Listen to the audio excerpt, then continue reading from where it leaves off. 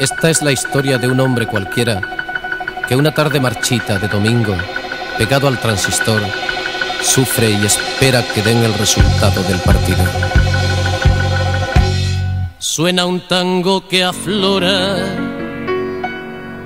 entre las sequías, los unos y los doces traicioneros del equipo local que con más clases sin embargo ha perdido demoliendo tanta terca ilusión, dinamitando tantas torres de naipes, tantos sueños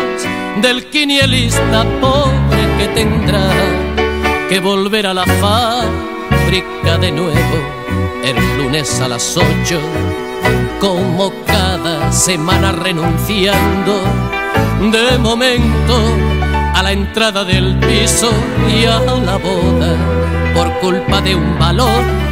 y de un portero de un penalti cabrón y de un defensa por culpa de un maldito delantero. Desengaños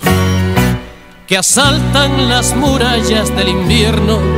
cuando se va la tarde del domingo y no le queda al hombre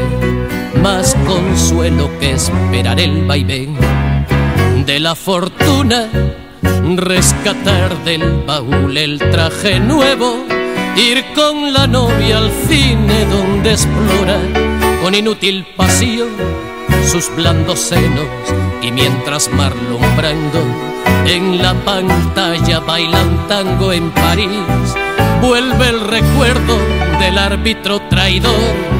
¿Cómo es posible que un penalti deshaga tantos sueños?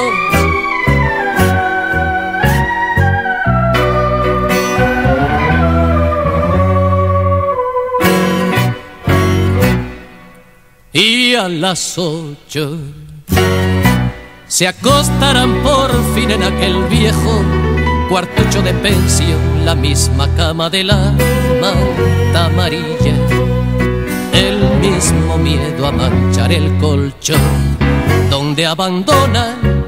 arrugados los últimos esfuerzos de la tarde marchita de domingo, que abre la oscura puerta del silencio como una mano blanda y taciturna cuando los verdes dedos del invierno hayan ido cerrándose cansados, sucios ajados turbios, polvorientos hasta llenar de frío las papeleras donde agoniza el corazón. Del tiempo